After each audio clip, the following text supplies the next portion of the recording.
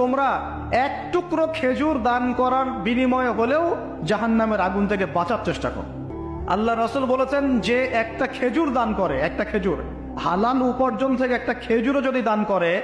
এই দানটাকে আল্লাহ পাক বড় করতে থাকেন আদর, মহব্বত করে বড় করতে করতে করতে পাহাড়ের সমান বাড়িয়ে দেন বলেন সুফান